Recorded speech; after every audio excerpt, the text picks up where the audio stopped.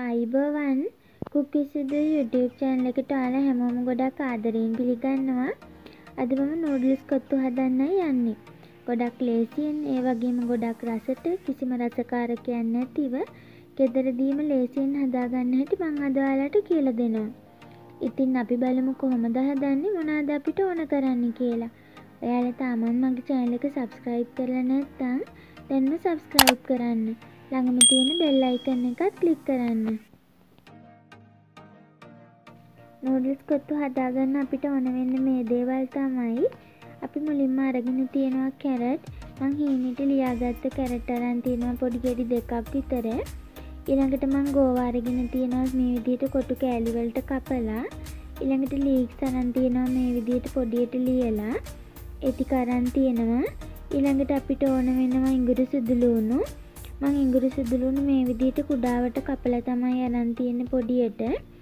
ඊළඟට මං අරන් තියෙනවා කහ කුඩු. කහ කුඩු තේ හැඳි භාගයක් අරන් තියෙනවා.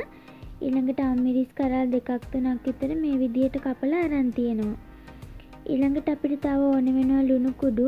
මං ලුණු කුඩු තේ හැඳි එකක් අරන් තියෙනවා. අර රස අනුව අරගන්න. ඊළඟට බිත්තර දෙකක් අරන් තියෙනවා. ඒ වගේම කෑලි මිරිස් මේ සැඳි එකක් අරන් තියෙනවා. ඒ වගේම අපිට සොයා සෝස් ඕන වෙනවා මේ සැඳි දෙකක්. ඒ වගේම චිකන් කරි එකක් ඕන වෙනවා. මං චිකන් කරි රසට හදාගෙන තියෙන්නේ. උකුවට වගේම සැරට රසට හදාගන්න.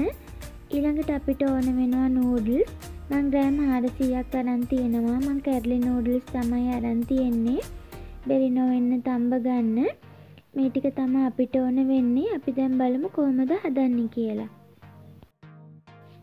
මුලින්ම මම භාජනයක් ලිපේ තිර එකට පොල් තෙල් ටිකක් දාගන්නවා.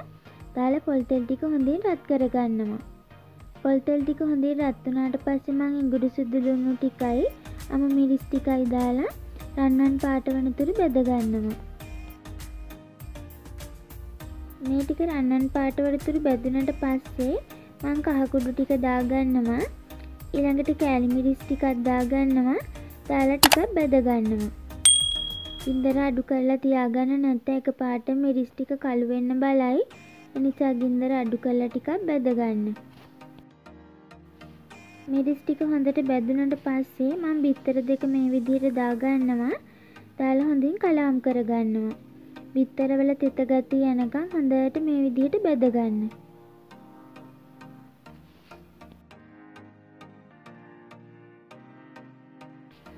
බිත්තරවල තෙත ගතිය මේ විදිහට අඩු වුණාට පස්සේ බැදුනට පස්සේ ලුණු කුඩු ටික එකතු කරලා මම නැවතත් හොඳින් කලවම් කරගන්නවා. ඊළඟට අපි කැරට් ටිකයි ගෝවා ටිකයි එකතු කරගමු. කැරට් ටිකයි ගෝවා ටිකයි දාලා විනාඩියක් දෙකක් විතර අඩු ගින්දරේ ටිකක් බෙදගන්න. ඒ ටික විනාඩි දෙකක් විතර බෙදුනට පස්සේ මම සෝයා සෝස් ටික එකතු කරලා තවත් විනාඩියක් විතර හොඳට උයා ගන්නවා. හොඳට කලාම් කරගන්න විනාඩියක් විතර උයා ගන්න. ඊළඟට මම නූඩල්ස් ටික දාගන්නවා. දාලා හොඳින් කලවම් කරගන්නවා. මං චිකන් හොදි ටිකත් ඒ ගාම දානවා. ඒ වගේම කපාගත්ත ලීෆ්ස් ටිකක් දානවා. දාලා අපි දැන් හොඳින් කලවම් කරගමු. ඔයාලා කලාම් කරන ගමන් චිකන් ටික තලා ගන්න. මේ විදිහට කෑලි කෑලි වලට කැඩෙන විදිහට හැන්දෙන් ගහන්න. ඒ වගේම නූඩල්ස් ටිකක් මේ විදිහට පොඩියට කඩා ගන්න.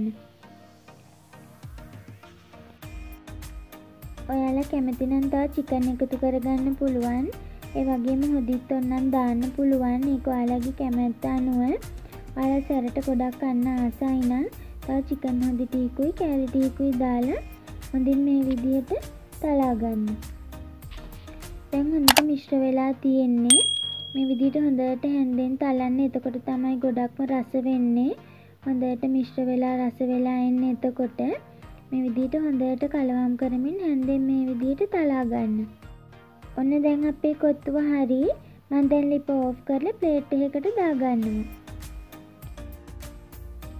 මේ තියෙන අපි හදාගත්ත කොත්තුව ගොඩක්ම ලස්සනට තියෙන ඒ වගේම ගොඩක් සුවඳයි රසයි. කොත්තු වලින් ලේසියෙන්ම හදාගන්න පුළුවන් නූඩල්ස් කොත්තුව තමයි. ඉතින් ඔයාලට ලේසියෙන්ම හදාගන්න පුළුවන් ගොඩාක් අඩු කාලයකින් කිසිම රසකාරකයක් නැතුව ගෙදරදිම පිරිසිදුව හදාගන්න පුළුවන්. try කරලා බලන්න. මං හිතනවා ඔයාලා මගේ වීඩියෝ එකට ආස වෙන්නේ නැති කියලා. මට ලයික් එකක් දාන්න, කමෙන්ට් එකක් දාන්න, මගේ වීඩියෝ එක යාළුවෝ අතර ෂෙයා කරන්න. ඒ වගේම ඔයාලා මගේ channel එක subscribe කරලා නැත්නම් subscribe කරන්න. මේ වගේ රසවත් වීඩියෝවකින් අපි නැවතත් හමුවෙමු.